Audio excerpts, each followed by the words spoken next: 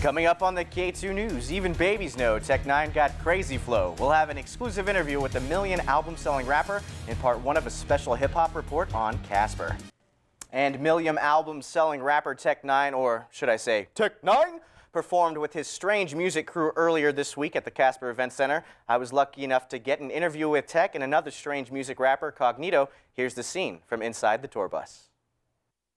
What's up to Casper, Wyoming? It's been like four years since I've been back, and we just tore down another show, just like we do about this time. Yeah, did I mean? It's Tech N9ne. But Tech N9ne does more than spit hot fire. He's also co owner of his label, Strange Music. Tech says for him, independent ownership was the best way to go. It's because the major labels kept wanting me to be somebody else. And I cannot be anybody else. I must be myself. They can't tell me, oh, you can't wear that on your face. You'll scare black people. Uh, I have to be able to have complete autonomy. I have to be me. The independent spirit is alive in Strange Music's other artists as well.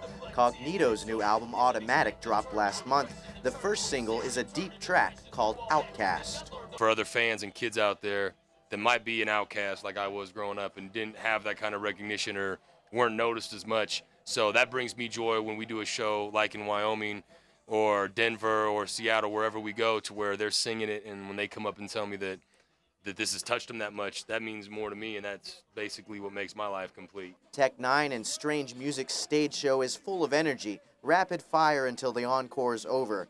Tech encourages living life to the fullest. You have to celebrate life because people are trying to blow this place up over money. You know what I'm saying? So you have to tell the people you love you love them. And Cognito says if you keep pushing, big things can happen. Look, you could be poor, broke, black, white. It doesn't matter what you are. Is if you want to do it, go get it and go do it. And it's hard work, but if you're determined, you're going to make it happen. The event center staff told me the Strange Music crew are some of the nicest people they've ever done business with. Tomorrow, join us for part two of my Hip Hop and Casper series. We asked tech fans and local Casper rappers to rap a few lines for the camera. Much more fun than your average soundbite.